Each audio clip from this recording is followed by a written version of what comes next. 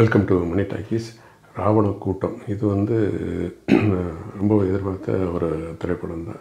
காரணம் வந்து இந்த டைரக்டருடைய விக்ரம் சுகுமாரன் வந்து ஏற்கனவே வந்துட்டு மதையான கூட்டங்கிற ஒரு படம் பண்ணி நல்ல ஒரு பேர் வாங்கியிருந்தார். அதுக்கு முன்னாடி ஆடுகுளம் படத்தில் வந்துக்கிட்டு இவரோட டயலாக் தான் வந்து படத்துக்குடைய முக்கிய அந்த வெற்றிக்கு முக்கிய காரணம்னு சொல்லலாம். அதனால தான் வந்துட்டு அந்த மதையான கூட்டத்தையும் வந்து ஆர்வம் ஆர்வமாக பா- பார்த்தேன். அது வந்து ரொம்ப ரொம்ப நீட்டாக நூறு சதவீதம் பெர்ஃபெக்ஷனாக இருக்கும் அந்த படம் உங்களுக்கு. ஒரு குடும்பத்தில் ஒரு குறிப்பிட்ட சமுதாயத்தில் அந்த குடும்பத்தில் நடக்கிற சம்பவங்களை தான் அந்த கதையில் சொல்லியிருப்பார். வேறு மாற்று ஜாதியை பற்றியோ எதுவும் வந்து அந்த படத்தில் இருக்காது. அதனால் அவர் வந்து அதுக்கப்புறம் அதனால தான் இந்த மதியானம் கூடத்துக்கு அப்புறம் இந்த படம் வந்து நான் எதிர்பார்த்து போனேன். அதை வந்து நூறு சதவீதம் வந்து திருப்தியாகவே இருந்துச்சு உங்களுக்கு. இவங்க வந்து மற்றவங்களை எதிர்க்கிற மாதிரி எந்த தலைவரை பற்றியோ குறிப்பிட்ட கட்சியை பற்றியோ எதுவுமே வந்து இதில் வந்து சொல்லப்படவே கிடையாது. ஆனால் இவங்க வந்து படம் பார்க்காம எப்படி இவங்க முடிவு பண்ணுறாங்கிறது நமக்கு தெரியல. சென்சார் போர்டுன்னு ஒன்று இருக்காங்கிறத வந்து நமக்கு நம்ம ஆச்சரியப்படத்தான் வேணுது ஏன்னா யாராவது ஒருத்தர் வந்து எந்த படம் வந்தாலும் ஒரு போராட்டம் நடத்திக்கிட்டு இருக்காங்க.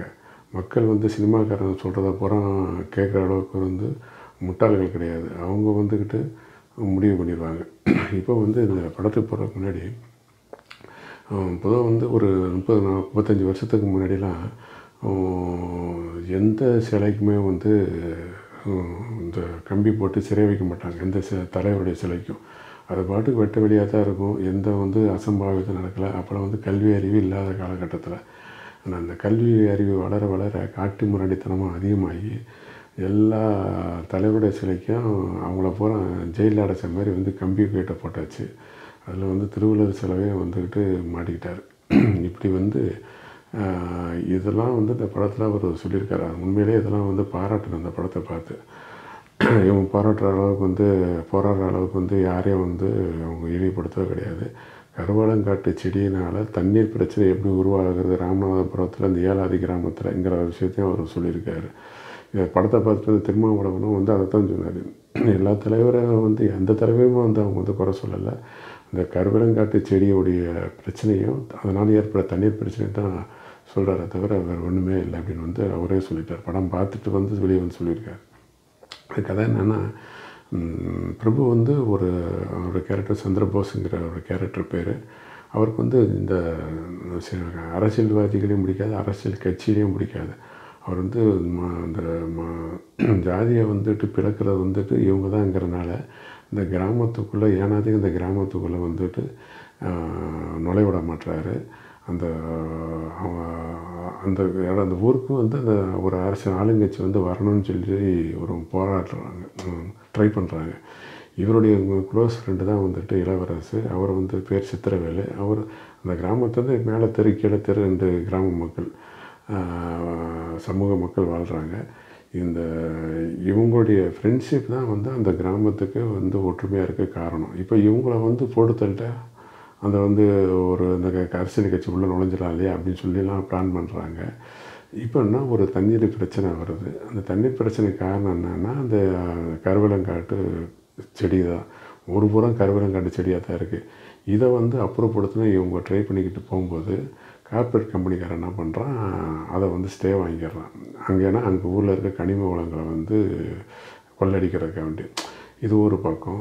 இப்போ இவங்க ரெண்டு பேருக்கு குடும்பத்தில் ரெண்டு பிள்ளைகள் இருக்காங்க. அது பிரபு வந்து அப்பாவாக நினச்சி போற்றி அவர் தான் அப்பாவாக வந்துட்டு அவன் படத்தமாக சொல்லிகிட்டு இருக்காரு. அந்த அளவுக்கு அவங்களுக்குள்ள இன்டிமேஷன் இருக்குது அதுதான் வந்து சாந்தனம் செங்குட்டுவன் கேரக்டர் அதேமாதிரி இளவரசு பையன் வந்துட்டு மதிமாறன். அது இப்போ சஞ்சய் சரவணன். அவர் வந்து நீ ஃபேஸு இவங்க வந்து க்ளோஸ் ஃப்ரெண்ட்ஸு அவங்களுக்கு வந்து வேறு வெவ்வேறு ஜாதியாக இருந்தாலும் அங்காளி பங்காளிங்கிற மாதிரி தான் பேசிக்கிறாங்க. இப்போது அவன் சாந்தர் வந்து ஒரு பொண்ணை வந்து லவ் பண்ணுறாப்புல இதை வந்துட்டு அந்த இந்த சஞ்சய் சர்மனுடைய சொந்தக்காரன் வந்துக்கிட்டு வேறு மாதிரி ட்விஸ்ட் பண்ணி அவள் ஒன்றே லவ் பண்ணுறாங்கிற மாதிரி வந்து இது பண்ணி நம்ப வச்சு அவங்களுக்குள்ள ஒரு பிளவு கொண்டு பண்ணுறான் இது வந்து எந்த அளவுக்கு வந்து இந்த பிளவு வந்துக்கிட்டு ஒரு ஜாதி ரீதியாக பிளவுற அளவுக்கு கொண்டு போய் முடியுது? என்னங்கிறத வந்துட்டு கிளைமேக்ஸ் உங்களுக்கு. இந்த அளவுக்கு வந்து ஒரு இது கதை இதில் வந்து யாரையும் வந்து குறை சொல்ல ஒன்றுமே கிடையாது. அதனால் வந்து இது படமாக இருங்க. நீங்கள் அப்போ தான் உங்களுக்கு வந்து தெரிய வரும். அதே மாதிரி இந்த படத்தில் முக்கியமாக வந்து எல்லோரையும் பாராட்டணும் அந்த ஃபஸ்ட்டு வந்து Justin Prabhakar music music director பின்ன ஜஸ்டின் பிரபாகர் பின்னணி இசை வந்து மிக பிரமாதம் பண்ணியிருக்காரு அதேமாரி வந்து வெற்றிவேல் ராஜேந்திரன் கேமரா ஒர்க்கு அதேமாதிரி எடிட்டரு. எல்லாருமே வந்து டெக்னிக்கல் சைடு எந்த குறையும் கிடையாது. பிரபுவுக்கு வந்து சில படங்களுக்கு பிரபு சாருக்கு வந்து பல சில படங்களுக்கு பிறகு ஒரு நல்ல ஒரு கம்பீரமான கதாபாத்திரம் அவருக்கு வந்து அமைஞ்சிருக்கு. அதே இளவரசு வந்து எல்லா படங்களும் வந்து நல்லாவே நடிப்பார். இந்த இதுக்கு குறைய கிடையாது.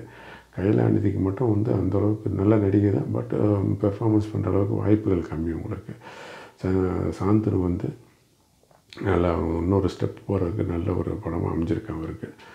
மற்றபடி வந்து ஒரு நல்ல ஒரு படம் வந்து ராவண கோட்டம் அவசியம் போய் படம் நீங்கள் பார்த்து முடிவு பண்ணுங்க. மற்றவங்க இப்போ சொல்கிறத கேட்டு நம்ம வந்து டிசைட் பண்ணக்கூடாது ஓகே ஃப்ரெண்ட்ஸு அடுத்த படத்தில் மீட் பண்ணலாம். சேனலை சப்ஸ்கிரைப் பண்ணுங்கள் I'm finally facing